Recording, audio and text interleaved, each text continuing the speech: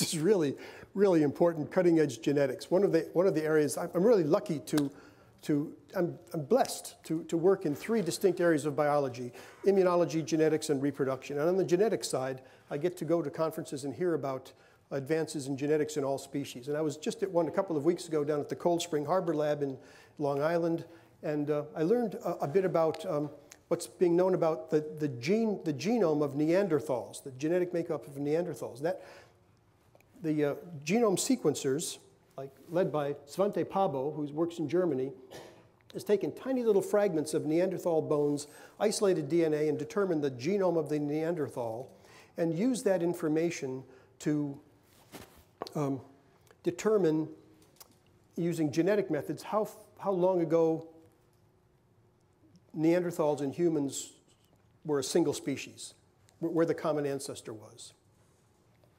They've also been able to compare um, human genomes and ask the question of whether there's any evidence of Neanderthal genes in the human genome. And they found that there is. And, that's, and the amount is quite significant, upwards of 5 to 7 percent. Neanderthals used to live in the Neander Valley. It's, you know, you could have called it the, you know, the Cayuga Lake Basin, but that's where they lived. Um, and out of Africa came the modern humans, and they, the word the, the geneticist uses, admixed. They admixed with the Neanderthals. um, and they, they all used to live in caves in those days like this.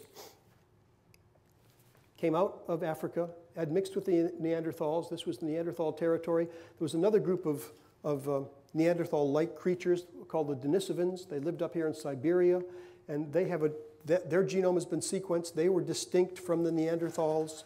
And um, you, so you can find in people of European and Asian ancestry evidence of about 7%, 5 to 10% of genome, of your genome, is common with that of Neanderthals. We've been separated from them by, for, for 30,000 years or so.